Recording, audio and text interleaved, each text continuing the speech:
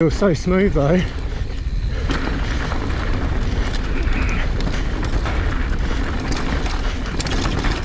Watch out for sharp edge rocks.